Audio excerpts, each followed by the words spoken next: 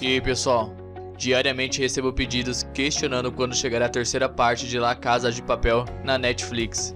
E hoje, finalmente tenho uma resposta para dar para vocês. Mas antes, se você gosta da série, clique no gostei, se inscreva e ative o sininho.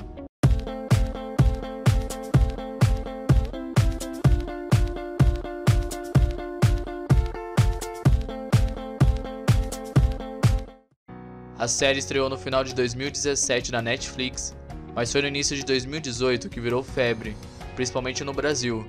A roupa vermelha com a máscara que os personagens usaram no roubo da Casa da Moeda espanhola virou fantasia de carnaval. Já em abril do ano passado, a plataforma disponibilizou a parte 2 e com isso, o sucesso se multiplicou ainda mais. Até então, a série não teria uma nova etapa, mas foi necessário visto a popularidade gigantesca que a série tomou em tão pouco tempo. E assim, em outubro foi divulgado um trailer apontando a terceira parte. Até hoje, os assinantes aguardam a tão misteriosa continuação. Poucas informações soltadas até o momento. Sabemos que haverá um novo personagem participando desse novo roubo, que será o foco da terceira parte. O criador já afirmou que o roubo terá uma motivação diferente do primeiro, Segundo ele, será mais emocional, visto que os personagens já estão ricos, e será necessário acompanhar a evolução desses personagens. O que mais chama atenção é que foi confirmada a volta de Berlim. Ainda não se sabe como isso acontecerá, sendo que ele aparentemente morreu no final do roubo da primeira parte.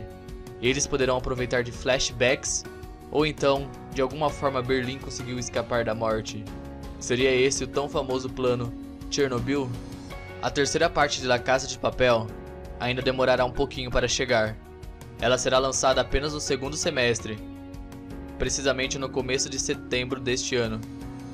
Vale a pena ressaltar que isso é uma previsão e pode ser alterado pela Netflix. Agora é com você. Comente aqui embaixo se você está ansioso pela terceira parte da série.